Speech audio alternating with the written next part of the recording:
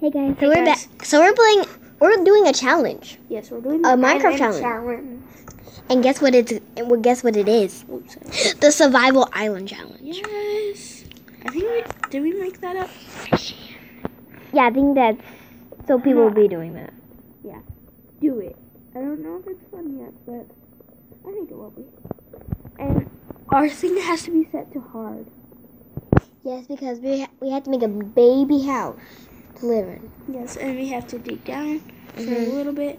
But the only thing is we have to be on hard and we only could eat chickens.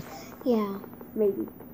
Or we can eat the grass into the seeds. Yeah. To the sheep. Yeah. And we need sheep for beds. Uh, we might get cows. Yeah, if we find any. Yeah. Actually, And- we're and- gonna anything except we cannot eat at all. We have to survive. And the only thing we have to find, if we find diamonds, that means we We're done. We're done. We completed this challenge, um, and this challenge is gonna be a one-day challenge. Yeah, and and so so let's get started into our thing. But we already got started. So bye. So be right back.